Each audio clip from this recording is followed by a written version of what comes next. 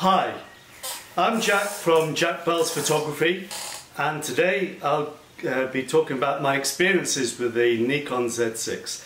Now I decided last year to upgrade from the D7200 which is here to the Z6 but there was a lot of negative coverage about the Z6 which initially put me off and then I saw um, some videos from two channels one the Mon Monochrome Memoirs. He's a wedding photographer. He gets great results with the Z6 and gives a lot of useful tips. So that obviously suggested the Z6 is uh, not a bad camera. And then Bob Holmes who's National Geographic a photographer. I saw a couple of his videos. Uh, he does. He takes great photos, and he started using the Z6 as part of his kit. So, and that persuaded me to uh, go for the Z6, and I've been using it now for a few months, just about two and a half months. Uh, I do underwater photography, but I haven't bought an underwater housing for it yet. I'm still trying to decide which way to go. But I do a lot of travel, landscape, and I do general parties. So I'm not a professional photographer, I'm very much a, a keen, enthusiastic amateur. So here's my experience of the Z6 so far. Now, uh, I purchased the Z6 with the 14 to 30 f4 lens, uh, the Z lens, which is lightweight, which I'm using for filming. Uh, I also reused the, um, the 60mm uh, micro lens. This is with the FTZ adapter and I use the 105. So the 105 and the 60 micro lenses are both full frame lenses and I've been using those a lot with the FTZ adapter and that's basically replaced my D7200 for most of my photography but prior to that I was using the um, Tokina 10 to 17 millimeter wide angle lens, the 35mm DX f1.8 which is a very good lens, and also the 60. So th those were the sorts of lenses I was using before, um, and now I'm using a very high quality uh, kit. So what I'd like to do is go through some of the, the key features. So starting off with the image quality and the colours. So I, I found actually that to be superior for the Z6 when compared to the D7200. So, so the colours are fantastic and despite the DxO score being better for the D7200, I actually found the Z6 to be superior. So I don't know if it's to do with the low light capability or the, the full frame sensor showing more detail. But certainly I, I used to import photos with one of my presets which I designed myself into Lightroom and I had to stop doing that because I found it was overdoing the, uh, the shadows. So I, I, find now my perception is that, uh, that I get more detail in the shadows and the highlights than before. Um, it's also better in low light for sure. Um, so here are some of the photos. So this one is a landscape. So uh, the, the, the, next group of photos are all using the new 14 to 30 f4 lens. Um, this one's actually two photos handheld, taken handheld at 1 200th of a second f11 at 14 millimeters and I stitched them together using Lightroom uh, and you can see what a good job uh, the, uh, the Lightroom has done stitching them together because it looks fairly seamless and there's a, this was taken at midday so a high contrast scene but you can see how much detail there is in the photo. Then the, the next photo is taken Apo Island uh, I was here with the family on the trip, so I took some photos, and this is the iconic scene with the rock, and you can see there's a huge amount of detail in, in the rock here. Again, taken at uh, noon, uh, and this is a high contrast, uh, needs very good dynamic range, and the Z6 has done fantastically. This uh, photo was taken on a trip around the island. Again, a high contrast scene with very bright sun. Uh, but the Z6 has done a very good job. The, the colours are very vibrant. You can see the red of the paddle, the kids in the boat, the greens, the blues, and uh, a lot of detail from the 14 to uh, 34 lens. Uh, the final photo in this sequence was a very high contrast. It's taken at one of the resorts, so very bright background, and the foreground element on the right was actually quite dark and I've been able to bring up a, a lot of the detail in the shadows and this was actually handheld at half a second at f4 so I was actually trying to blur out the background a little bit and I think the Z6 has done a fantastic job. The another key benefit I think is the EVF. Now the EVF I find is similar to looking at the uh, the iMac 27 inch uh, 5K screen. It's, it's fantastic. It's made a huge difference to my photography as I can see the um, the settings, the effect of the settings on the photo and I can choose the settings I want to try before I even take the shot. Uh, and I find that's been a, a great benefit. Uh, I no longer have to chimp, guess the settings, change them, chimp, change until, I, until I'm happy. So that process is much, much faster. Um, so the key benefit there is I'm able to focus on composition uh, and creativity. Uh, so I, I, still take probably a similar amount of photos, but now I'm, I'm, I'm deliberately changing the settings and the angles and everything um, because uh, the, uh, the, the live view in the EVF um, I, I, can see what effect those settings are, have already. Um, the in-camera vibration reduction the in-body image stabilization equivalent of the Nikon has worked really well. Uh, I'm able to take really slow shutter speeds when required. Uh, I find about a third of a second is fairly reliable handheld and sometimes I can do better than that as you'll see in these example photos. So let's take a look at some of the photos. So this one is a, a third of a second and I was actually standing in water and able to see the waves rolling in. Um, and this is the 14 to 30 at 21.5 uh, and ISO 50. So uh, I, I could actually see all the colours and decide on the composition I wanted to take. Uh, at another site, uh, this boat came in, so I handheld, uh, this were at uh, a sixth of a second f13, and I took two photos and stitched them together in Lightroom, and this is handheld. The Next photo is of a fish farm, and this one's actually uh, a one second exposure handheld, and you can really see the effect on the water. Uh, I took a, a, few photos at one second, and uh, basically the people were fishing, so not moving very much. So I got away with that one for the people, but the rest of the scene is sharp and, and in focus. Again, ISO 50.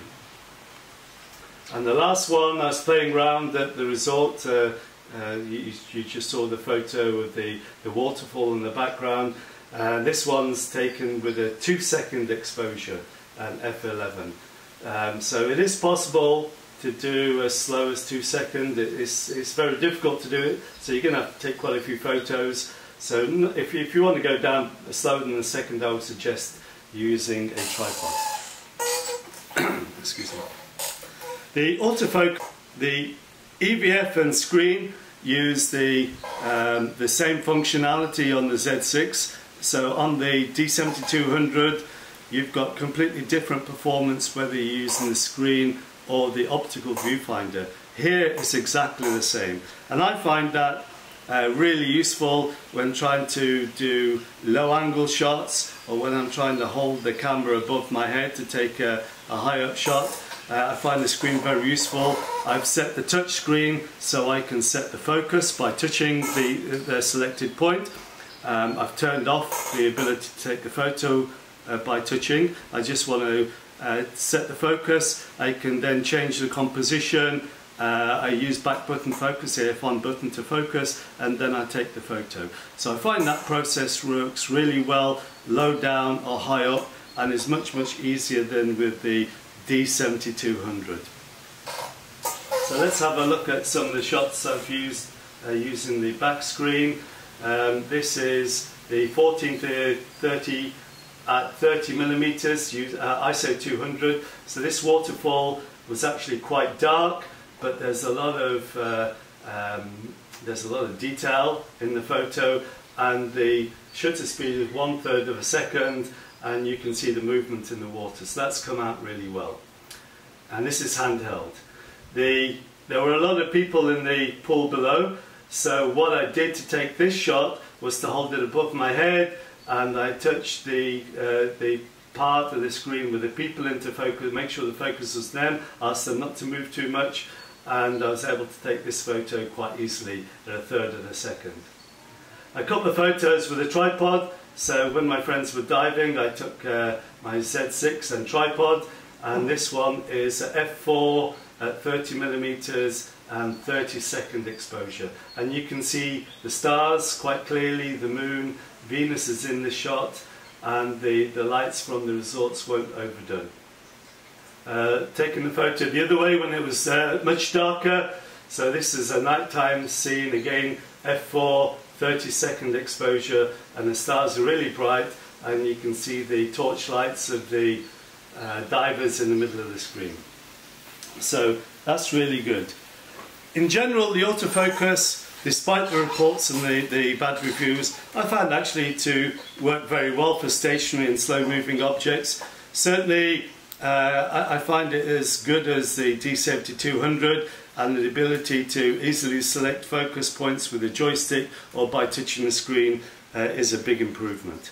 I tend to use single point AFS for landscape or stationary subjects, AFC with uh, either a single point or a dynamic area autofocus, uh, when there's some movement in the subject. That works very well.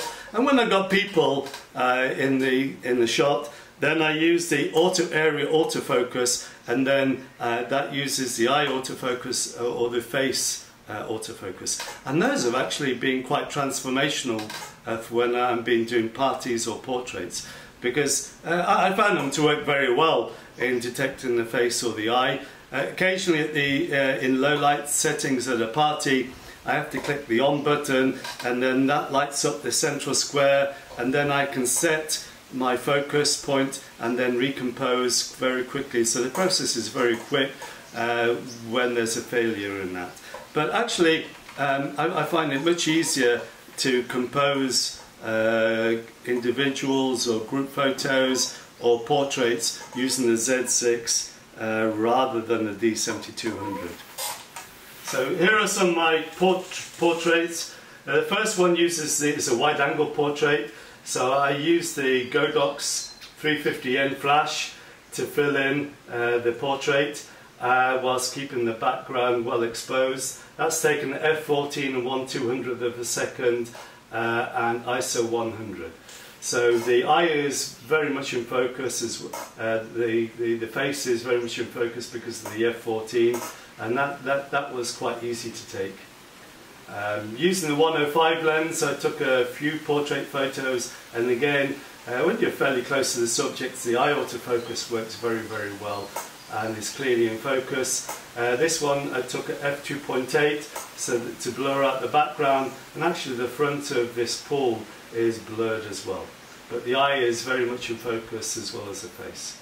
Uh, again, this one's that uh, uh, uses a 105 micro lens and f7.1 because I wanted to make sure uh, both girls were in focus. Uh, and uh, this one I was experimenting with an off-camera flash using a trigger. So that's the Godox trigger um, and that's worked, worked very well with, with the system. So some extras, what I found the, the movie mode, so I'm taking this uh, using the uh, High D, uh, the Nikon 14 to 30 and the Z6 um, and there's you can't hear any motor noise and the focus works very very well. It's much better than the D7200 which I found that that uses live view and the focus is very limited. Uh, there's a dedicated switch which you can set to photo or movies and it remembers the settings for each one so I find that's great. You, there's also some user presettable options on the main uh, command uh, mode dial uh, U1 to U3. I don't use that so much but the useful thing about that is that you can independently set the, uh, that for photos and videos. So you've actually got six user settings, not three, if, you, if you're doing um, videos. The menus are uh, very good. Uh, they, they follow the Nikon system. The big plus about the Z6 is this allows you to get into the Z6 much easier because you'll be familiar with the menu system and you've got a touch screen so you can navigate the menus using that rather than uh, using the joystick or the up and down buttons. So that makes it easy to learn and very intuitive. Also, the size and the weight of the system is lighter than the D7200 and, and I would guess much lighter than the, uh, let's say, full frame um, DSLR like the D850. Now there are some issues. So for the autofocus, uh, I found for fast moving subjects that that doesn't track quite so well. Uh, and I did try uh, setting the focus uh, on the focus plane, but when the when when the when you've got sports action or something like that, I didn't find that to work very well. Also, uh, the eye autofocus needs to be fairly close uh, to the subject to work reliably. I've recently seen a video on the Sony and the uh, Canon comparing those to the Nikon. And actually the, the, Nikon in distant terms is comparable to the Sony and not as good as the, um, the Canon. Uh, but in, in scenarios the, the Sony does seem to be ahead of the Nikon in that respect. I find the Nikon to be very usable, but these are both areas of improvement. Uh, the battery life is not as good on the Z6 as uh, the D7200. The plus is that it uses the, the, the same batteries, so I, I, didn't have to buy any spare batteries, I just use the ones I've already got. Uh, and actually for a day shooting, a normal day shooting, uh, a battery works pretty well for that. So it's not terrible, but certainly not as good.